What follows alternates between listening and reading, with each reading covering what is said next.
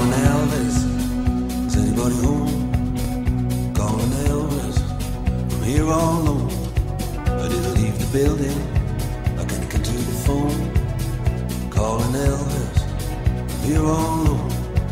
Well. So you see, the washing machine is like a clothing party. The shirts and the pants dance around when they normally won't even talk to each other. I was at a party once where a bloke pulled a knife.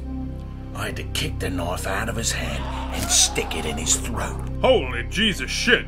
You did that, Jason Statham? No, are you joking? That was a movie I was in, mate. I'm not a real superhero. I'm just an actor. You understand the difference, right, baby Elvis? Difference in what? Let me see if I can explain this. You were in Blue Hawaii, right? That's right, Jason Statham. I saved all those villagers with my beautiful music. Right. That was a movie.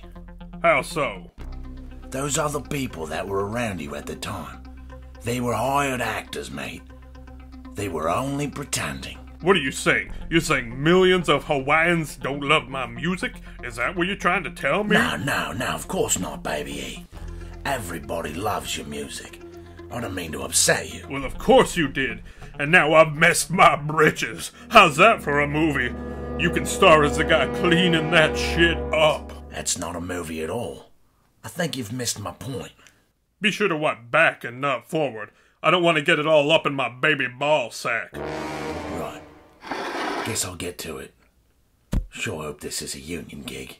Baby Elvis, what have you done? On guard, Jason Statham. I'm always ready, baby Elvis.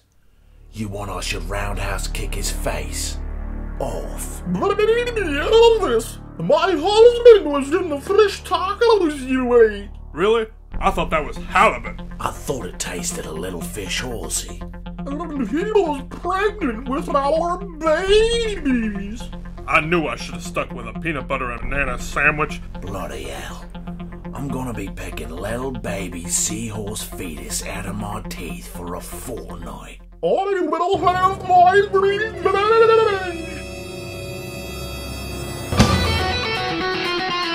Thank you.